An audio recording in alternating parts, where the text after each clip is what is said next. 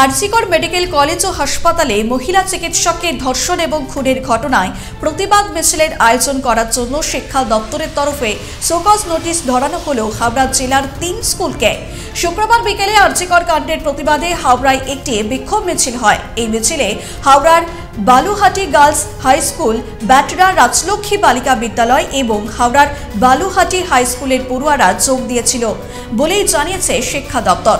আর এই প্রতিবাদে মিছিলে কেন স্কুলের শিক্ষক এবং পড়ুয়ারা যোগ দিয়েছিল, তার কারণ জানতে চাওয়া হয়েছে স্কুল কর্তৃপক্ষের কাছ থেকে। চব্বিশ ঘণ্টার মধ্যে সোকজ নোটিশের জবাব চাওয়া হয়েছে। না হলে কঠোর পদক্ষেপ গ্রহণ করা হবে বলেও জানানো হয়েছে শিক্ষা দপ্তরের পক্ষ থেকে।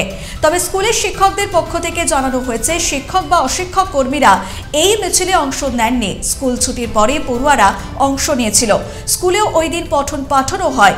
বালুহাটি গার্লস হাই স্কুলের teacher in charge Anjan Saha বলেন, শিক্ষক বা অশিক্ষক কর্মীরা এই মিছিলে অংশ নেননি। স্কুল ছুটির পর পড়ুয়ারা অংশ নিয়েছিল। স্কুলে ওই দিন পঠন পাঠন হয়, কেন শোকজ করা হলো সেই বিষয়টা জানা নেই। এই নোটিশ সামনে আসতেই রাজ্য সরকার তথা শাসক দলকে নিশানা করেছে বিরোধীরা। বিজেপি সিপিএম এর দাবি আর্জিকর কাণ্ডের চাপে পড়েছে রাজ্য। তাই আন্দোলনকে দমিয়ে দিতে এমন পদক্ষেপ করা হচ্ছে।